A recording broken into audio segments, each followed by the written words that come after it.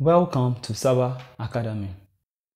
We are going to look at how to draw this figure. The drawing instruments needed to draw this figure include your compass, a rule, your set square,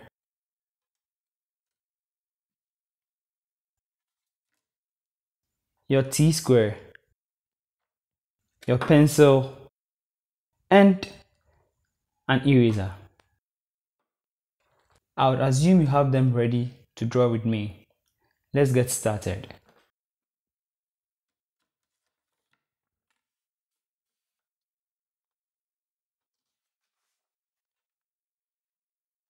Before you begin any drawing, always ensure that your T-square is in alignment with your drawing paper. As you can see here, minus is in alignment with the drawing paper.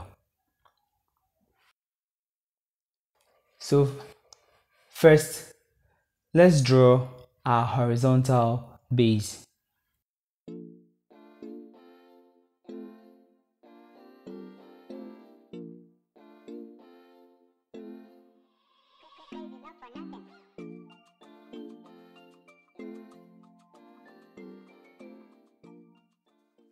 Now, we'll be drawing this square figure. The dimension is 9, but we have 1, 2, 3, 4, 5, 6, 7, 8, 9, 10, 11, 12. 9 by 12 is 108 millimeters, and this is the same as 10.8 centimeters.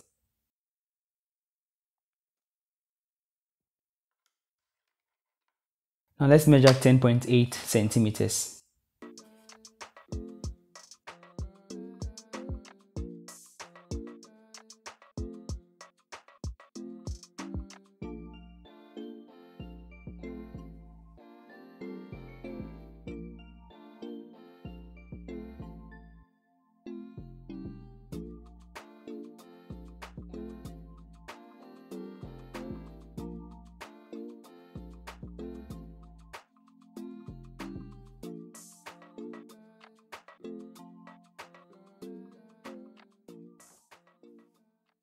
Let's call this point A and B. Now we are going to draw perpendicular lines at point A and B.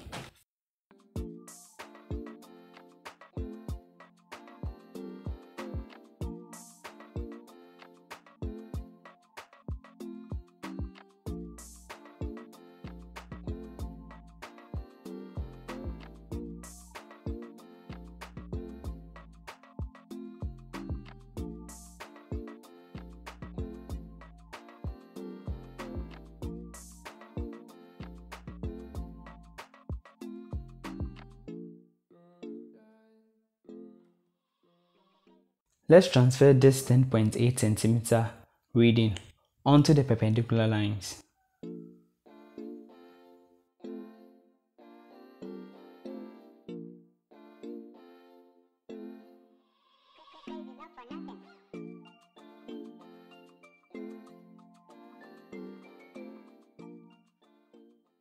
Now complete the square.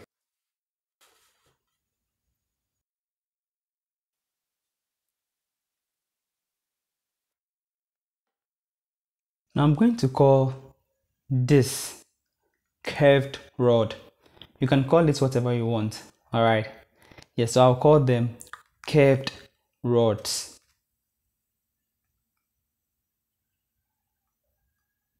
Each rod is having 9 millimeters length on this horizontal line. All right. Let's call here C and D.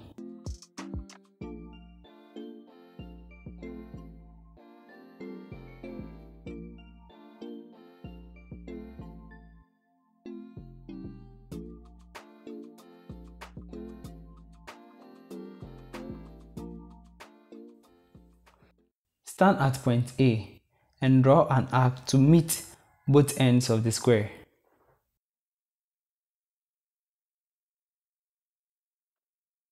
Now, before we do this, ensure that the curves are thin because at the end, we'll be erasing some of the rods.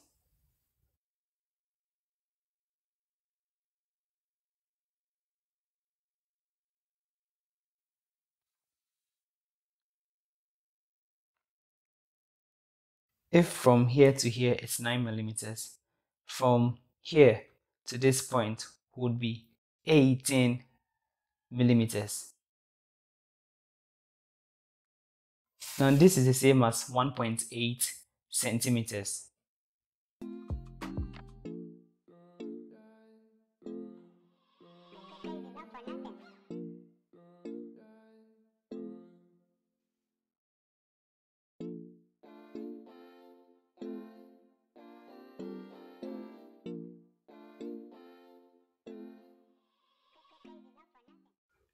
Repeat the same drawing at point B.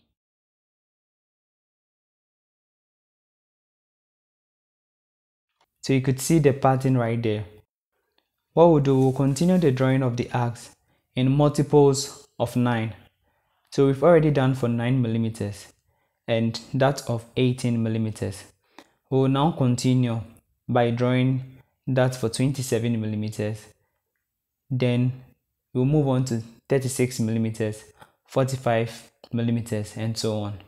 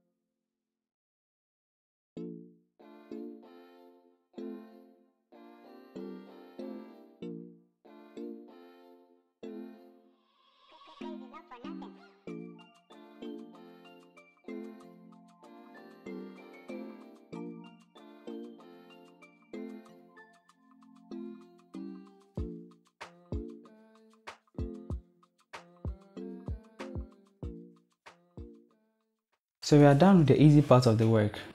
We are going to erase some arcs to have our work look like this. Alright.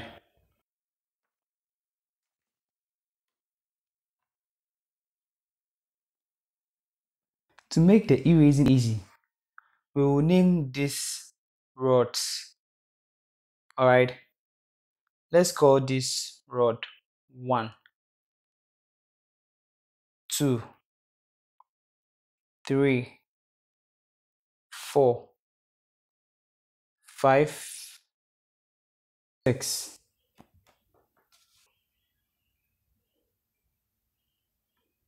We'll call this one seven and eight. Right. So rod one is this rod. Two, three, 4 and so on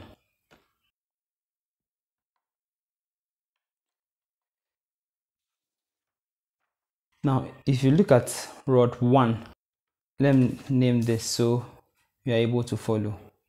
2, 3, 4, 5, 6, 7, 8.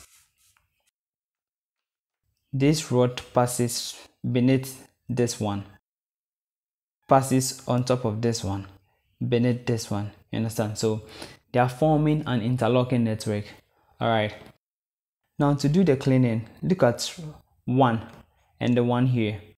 It means I would have to clean here.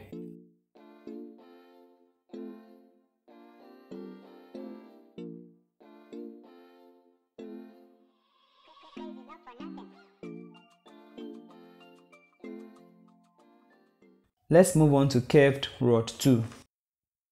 With this one, you can see that there's only one rod passing on top of it. Rod 2. So it means we would have to clean this one and leave this rod.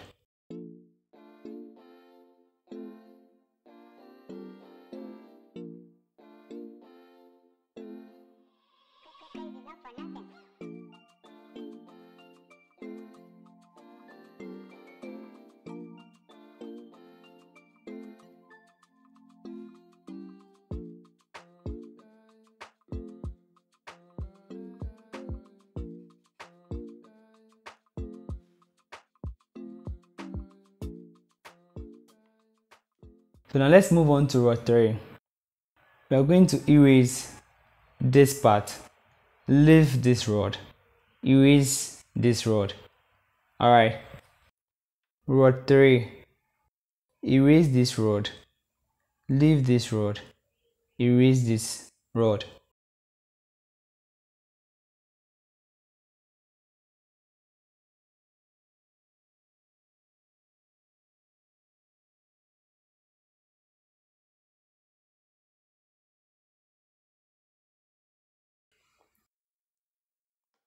So you can see it follows a pattern.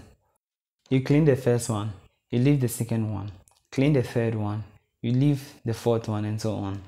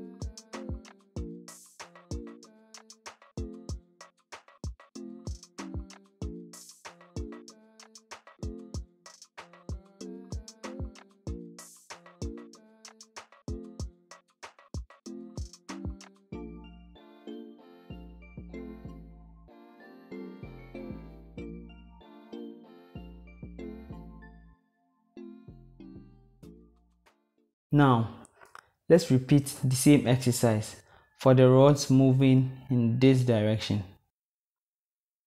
Remember we did for these rods. So now, we'll move on to these ones.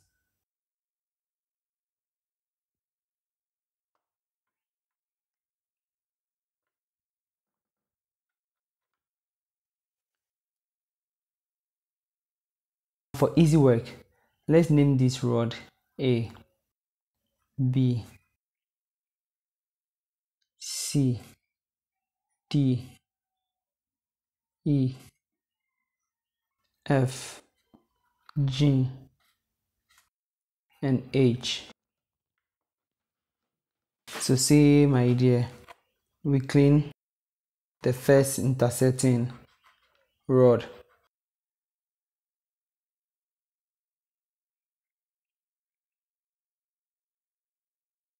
For B, we clean the first intersecting rod.